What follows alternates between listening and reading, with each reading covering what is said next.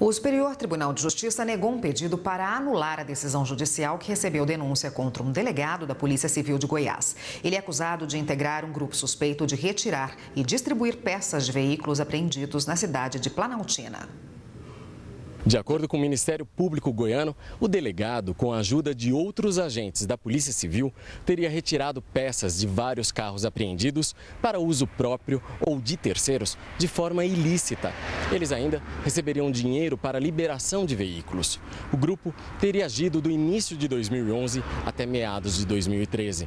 O delegado foi acusado pelos postos crimes de associação criminosa, peculato, corrupção e uso indevido de função pública feito no Superior Tribunal de Justiça, a defesa do delegado alegou que a decisão de recebimento de denúncia seria nula, pois não apresentava motivação ou fundamentação válidas.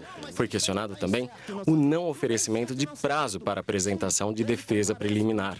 O relator, ministro Joel Ilan Paciornik, afirmou que a decisão que recebe a denúncia dispensa fundamentação extensa. Não poderia ser longa, não se pode exigir que o juiz fundamente por A mais B, uma decisão interlocutória. Se ela cumpriu o seu papel dizendo assim, realmente tem plausibilidade a denúncia e realmente pode ser que essa pessoa tenha, tenha cometido o crime, está perfeito para que se inicie o processo. O ministro ressaltou ainda que a decisão foi devidamente fundamentada e apontou a existência de elementos capazes de vincular o delegado aos supostos crimes. A quinta turma do STJ negou habeas corpus e a denúncia foi mantida.